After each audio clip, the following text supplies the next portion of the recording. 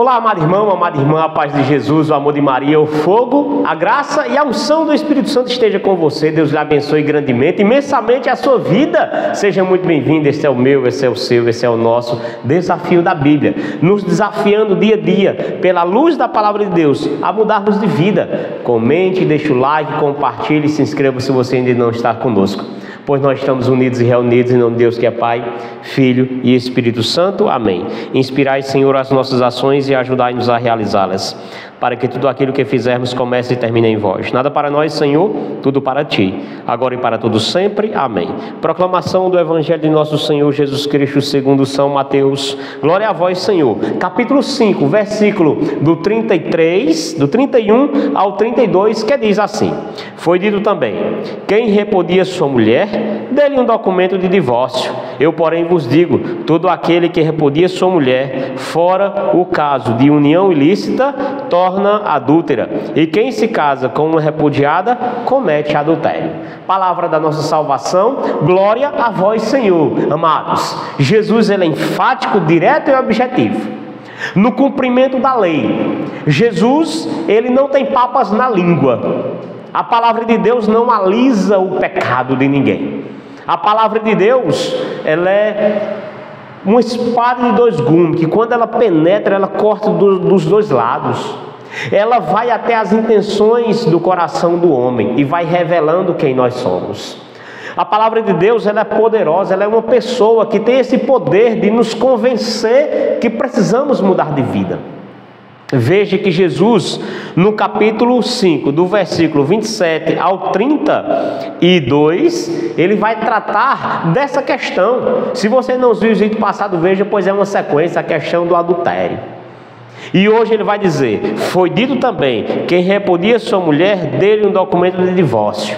Ou seja, a lei lá atrás dada a Moisés foi essa. Mas vocês não estão compreendendo. Vocês estão repudiando as mulheres de qualquer jeito. Vocês, por qualquer coisinha, estão dando carta de divórcio à mulher. Vocês, por qualquer coisinha, já não aguentam mais viver como casal. E aqui trazendo esse contexto e essa vida a dois. Gente, eu sou casado há 25 anos. Eu costumo dizer que a primeira coisa que me aconteceu de bom na vida, de verdade, foi ter conhecido Jesus. E a segunda foi eu ter me casado. Casamento me fez bem, me faz bem. Eu sou feliz, eu sou um homem muito feliz casado com todas as dificuldades que há na vida dois, que eu enfrento, né? E de ter família, eu sou muito feliz por ter família, né? Porém, quando não se tem o entendimento cristão de ser família, de ser casado e vive de qualquer jeito, as pessoas se tornam infelizes. Né? Eu costumo dizer que esses, nesses 25 anos de casado, as nossas, quase não, nós não tivemos briga, e o mérito é todo da minha esposa, porque é uma mulher sábia que edifica a casa. Mas brigar, agressão, palavras duras, isso aí nunca teve lá em casa. Palavrão, não, não aceito. E nem nunca fiz. Né? Então, a questão da convivência dois. E Jesus vem trazer aqui a questão do adultério. Jesus vem trazer aqui uma questão que quando na vida dois as coisas não estão muito bem, vamos procurar outro. E hoje a facilidade, gente, é demais. Por exemplo, alguns anos, alguns dois anos atrás, mais ou menos, ou menos do que isso, eu já tinha chegado do trabalho, tinha chegado do grupo de oração, tinha me deitado, é minha esposa de um lado e eu do outro lado. Eu peguei o celular, peguei ali e abri o WhatsApp. Aí tinha uma, tinha uma, uma mensagem lá em verdinha de, uma, de alguém que eu não sabia quem era. E aí quando eu abri, a pessoa tinha lá já, boa tarde. Ela tinha botado a mensagem já no finalzinho da tarde. E aí eu respondi ali, boa noite. Essa pessoa estava online. E aí em seguida veio uma foto que ela tirou do traseiro dela. Me desculpe a palavra, mas foi isso mesmo. E aí quando eu vi, eu comecei a rir, rachei o bico de rir. E aí minha esposa do lado, eu digo, eita, olha aqui, Celinha. Celinha é o nome da minha esposa. E aí, o que foi isso, mano? Eu digo, eu sei. e aí a gente rachou o bico de rir. Eu achava, quando eu respondi o boa noite, que talvez fosse uma cliente. Como eu trabalho Hoje não, mas nessa época eu trabalhava porta em porta, né, consultor de cobrança, e eu acabava dando o número do telefone para quando o cliente quisesse fazer um acordo, quisesse conversar comigo a respeito de sua dívida, né, e a pessoa entrava em contato comigo. Isso era comum, natural acontecer. Eu achava que era uma cliente, mas no entanto não era. E aí eu, eu fiquei sem jeito de responder alguma coisa, eu vou botei ali, né? Eu digo, ah, eu acho que a senhora deve ter se enganado. E aí ela disse: Não, a foto do perfil assim, assim, assado e tal. Eu digo: Não, acho que a senhora se enganou, com certeza. E aí ela disse outra coisa e eu fui e mandei um áudio para ela, falando do amor e da graça de Deus. Eu mandei um áudio para ela assim de uns quatro minutos.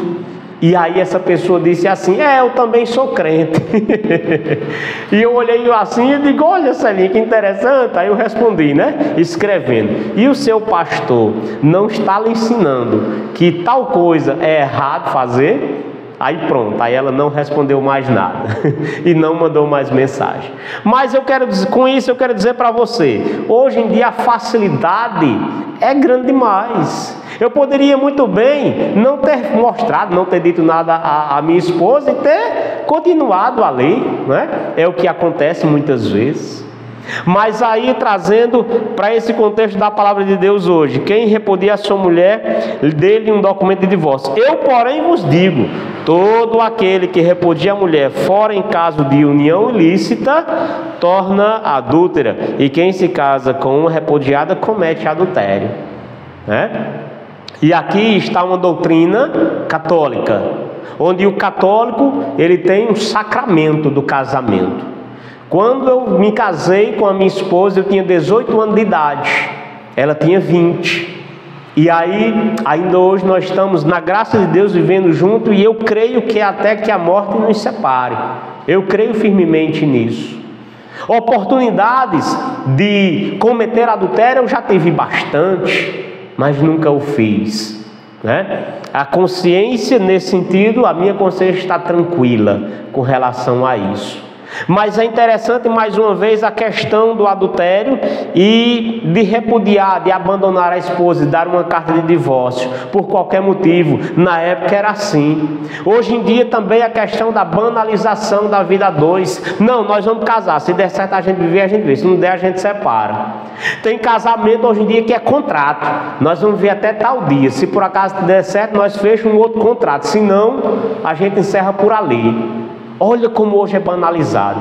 Mas na igreja católica é sacramento, é até que a morte os separe. É por isso que tem muitos irmãozinhos protestantes, católicos que se tornam protestantes, porque lá você casa uma vez, não deu certo, aí você casa novamente e assim por diante. Eles não veem o sacramento do matrimônio como algo tão sagrado que até a morte os separe, né? Então, na igreja católica é assim: casou é até que a morte os separe. E o casamento pode ser nulo em algumas situações. Por exemplo, alguém que enganou o outro. Eu casei com fulano, fulano me enganou. Quando eu depois de casado foi que eu descobri que ela era doente, que ele era doente, que ele era estéreo, que ela era estéreo, que não podia ter filho, e eu que queria ser pai, eu que queria ser mãe. Ou que ela não era virgem e casou me enganando, dizendo que era e tudo mais. E aí por diante tem casos, casos específicos que pode haver uma anulação. Um casamento forçado, por exemplo, um casamento onde hoje não acontece mais não, mas alguns anos atrás tinha. Um rapaz e uma moça ficava grávida e o pai ia lá ou a mãe obrigava os dois a se casar, ou seja, foi um casamento obrigado, não consentido à lei, de livre e espontânea vontade. Um casamento como esse é nulo. Uma pessoa que tem problema mental, de repente o outro não sabe, vai descobrir depois que se casa. Então, tem alguns casos que o casamento pode ser nulo, mas não havendo casos específicos, é até que a morte os separe. Se por acaso no meio do caminho não deu para viver, o certo é viver a castidade, não se casar mais. Mas como assim, Rony? Isso, porque você fez um compromisso, não simplesmente com a pessoa com qual você casou, mas com Deus e teve testemunha.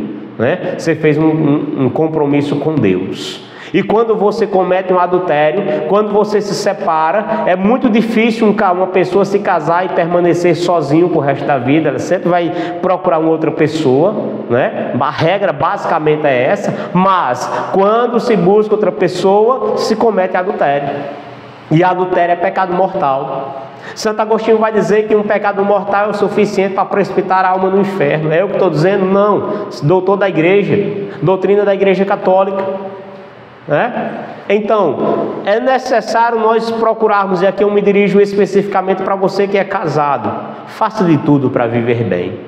Faça de tudo o possível e o impossível para não abandonar a sua casa, a sua esposa, o seu esposo. Rony, mas meu esposo bate em mim, não sei o que, coisa e tal. Não, ninguém é obrigado a viver com alguém agressivo, que bate, que espanca, que humilha. Não, deixa esse camarada. Mas uma vez deixado esse camarada, você não pode se casar mais. Eu tenho uma amiga que ela é, veio de um casamento, teve uma filha. E aí, depois de um bom tempo, ela juntou-se com um homem, teve outra filha. Só que aí esse camarada começou a um comportamento diferente, a beber e ser agressivo dentro de casa e deixou de até ajudar dentro de casa no sentido com as despesas. E aí ela não comungava mais, uma mulher muito de Deus, mas na o sentimento humano carnal às vezes grita mais alto. E aí ela percebeu o seguinte: rapaz, esse contexto de vida que eu estou vivendo, eu não estou recebendo Jesus por conta da condição que eu estou vivendo. Sabe como é que eu vou fazer? Eu vou deixar esse camarada.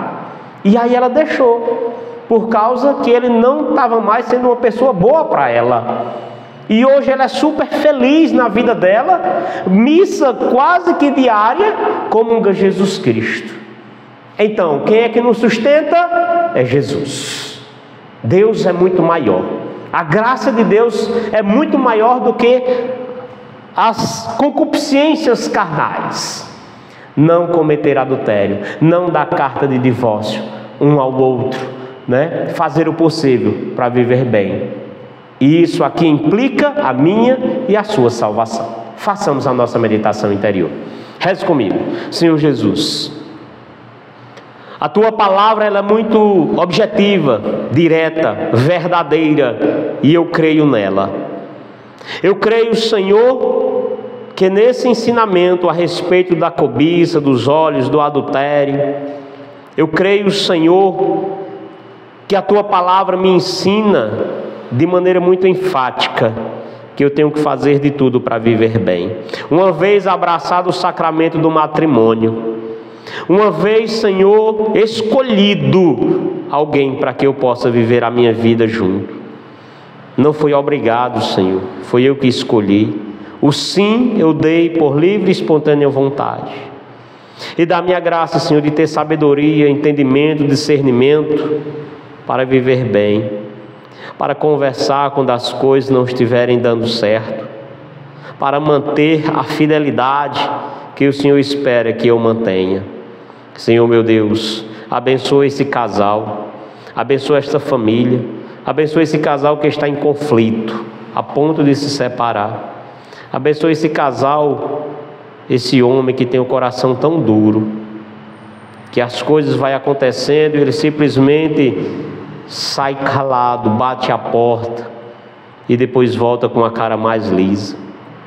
Senhor meu Deus, esse casal que se separa e volta, separa e volta. Dá-lhes a graça da firmeza e da constância. Senhor meu Deus, o casamento e o casal que é tão atacado pelo inimigo. Derrama a tua graça e reina, Senhor, em cada lar, em cada coração. Deus lhe abençoe, continue a sua oração e até amanhã.